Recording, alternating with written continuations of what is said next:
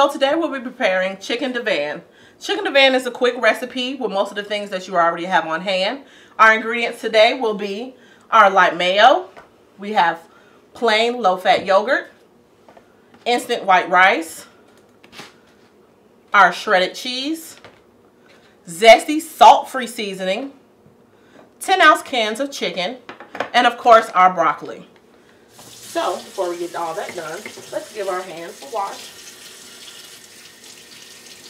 We want to make sure our water is warm.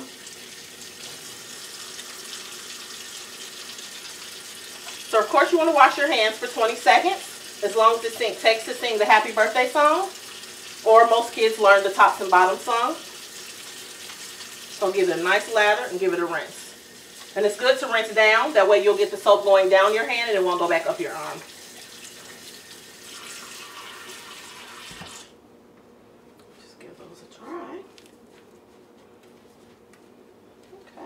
So let's get our cup of water. And we're going to go ahead and add our water. To our water, we're going to ahead and add our cup of broccoli. And it's a good thing to buy more broccoli than needed because it's a lot cheaper. And you can always just tie it back up with a twisty tie or put it in a freezer bag to put it back in the freezer. But it'll save you money for when you need to get more broccoli into uh, your other recipes. So our broccoli, we're just going to go ahead and put it in our water. And we just want our broccoli to steam up before we add our instant rice. Now in this recipe, we're using a salt-free seasoning. The salt that we add to our food is only 5% of the salt that we had have on a daily basis. So that means 90 to 95% of the salt that we ingest comes from our food already. So let's go ahead and measure out our salt-free seasoning.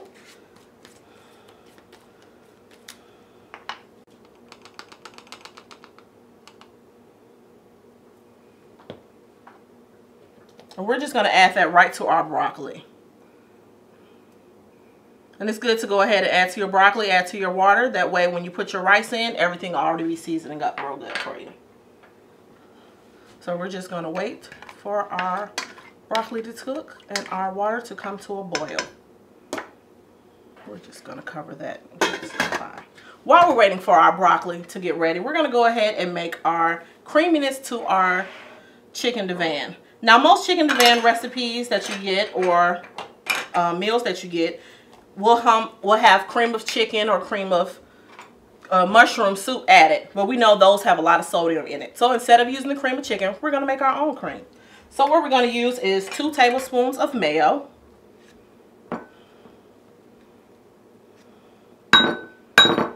And then also two tablespoons of plain yogurt. Plain yogurt is an excellent substitute for sour cream. It's less fattening and less salt in it. And it doesn't have flavor. So no one would know the difference. And you want to make sure when you get your plain yogurt, you give it just a little stir on top just to get everything mixed in together before you add it in. So we have one and two.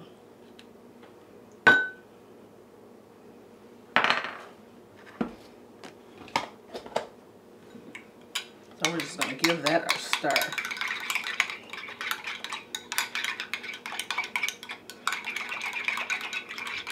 You want to make sure that you incorporate that real well because you don't want half of it tasting like yogurt and half of it tasting like mayo. So let's see if our broccoli is boiling here. It is steaming, which is awesome. So we're just going to give it a quick stir. Oh, if you can smell what's going on here. Awesome. So let's go ahead and add our white rice. Now you don't have to use instant rice if you like. But this is just a little quicker just to get the job done because we know when we come home with those kids, nobody wants to sit around and wait about 30 minutes for rice to get cooking. So we're going to use the instant rice. That'll take about five to seven minutes to cook.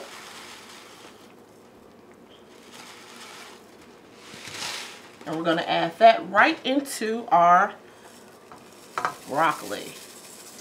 And I just like to shake it on around so I can make sure that every piece of rice gets wet.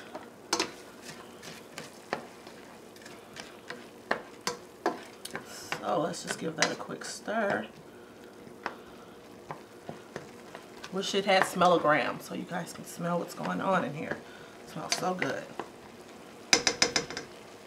So while we put that on, one of the stars of this recipe is our canned chicken. Canned chicken is just basically your white chicken breast that comes in a can. So remember, we're always going to wipe off our cans before we use them with a damp cloth. And we're going to drain that juice off there.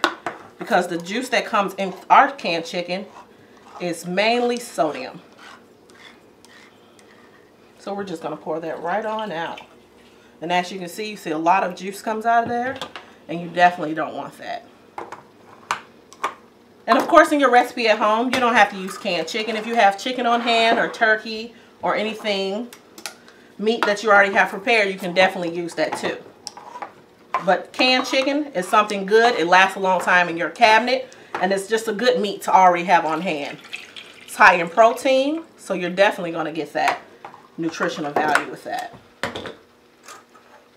So see all that juice that comes out of there. So while our can, our chicken is still in our can, rinse off our spoon here. We're just going to break up some of those pieces to make sure that the chicken distributes evenly into your recipe. These cans that we're using here, these are only 5 ounce cans, so we're going to use two to make sure that we get our 10 ounces of chicken in our recipe. Let's check on our rice. Ooh, look at that.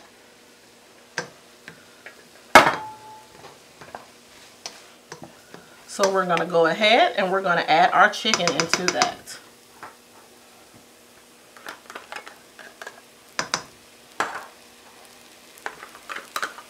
Make sure we get all that chicken out of there.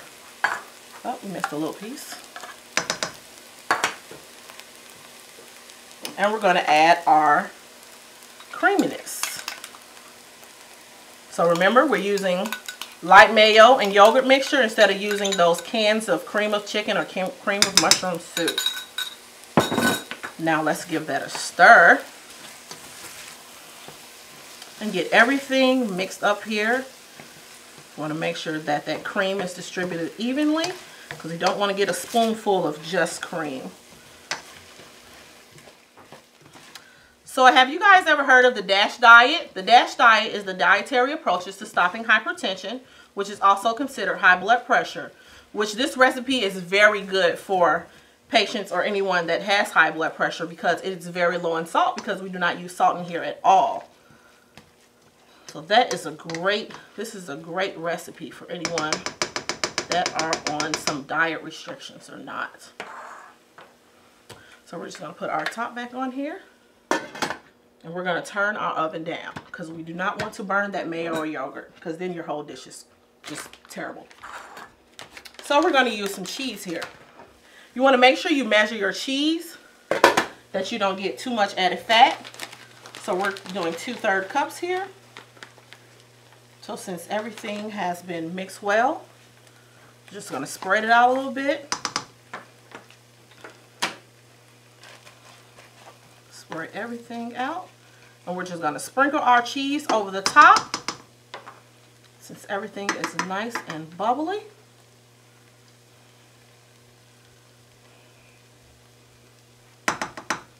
That we're just to set that top on there just so we can use the steam to let the cheese melt and we're to move it off of our eye of the stove because we definitely do not want anything to burn. Your rice is already done. Your chicken is already prepared. Your chicken was already cooked inside the can. So you just basically wanted to warm it up and get a little seasoning on it. Your broccoli was already cooked as well. You just wanted to warm it up. So we're just going to give it just a couple of more minutes. And when you're cooking this rice, you definitely can cook more rice than needed. You can get an airtight freezer container and put it in there to have rice for later on if you want to use it for later. That way you don't just sit here and keep making little batches of rice. Instant rice is great frozen. You can take it out, thaw it out, and add all your different things you want to add into it. A good thing also is when you're cooking your rice and you're going to freeze it, it's good to cook it in low sodium chicken broth because it'll already have that flavor in it. And that way when you take it out, you want to really add any more seasonings to it because we know we want to cut down on that salt. So our chicken divan is ready. And here's our final product. Isn't that great? Now let's get a plate because we definitely want to taste it. Let's get some of this cheese on it. Mmm, mmm. Let's taste. You definitely want to blow it off before you eat it, but of course I love my food steaming hot. Mmm, that's so good. So, there you have it, chicken Divan. Very low cost, healthy, nutritious meal that you can make on a budget. Basically everything you already have on hand. So I will see you again next week. Same time, same place, different recipe.